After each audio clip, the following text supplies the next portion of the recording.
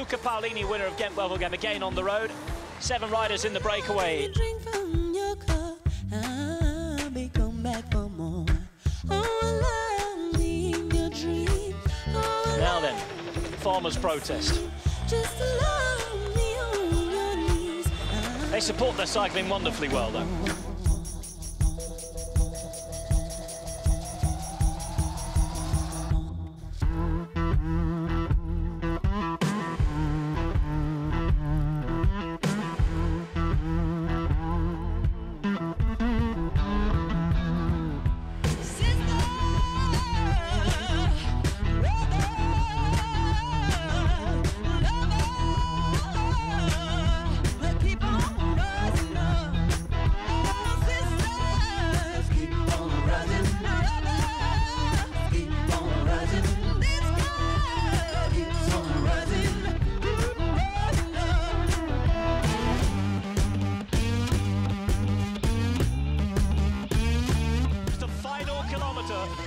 Prize 2015.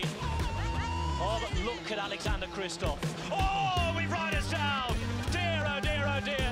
You can see it happening. Here we go. It's a sprint of just 10 riders. Kristoff to go now for a long one. Can he do it again? It's Kristoff yet again. Nobody can beat him. Alexander Kristoff, the man on two wheels.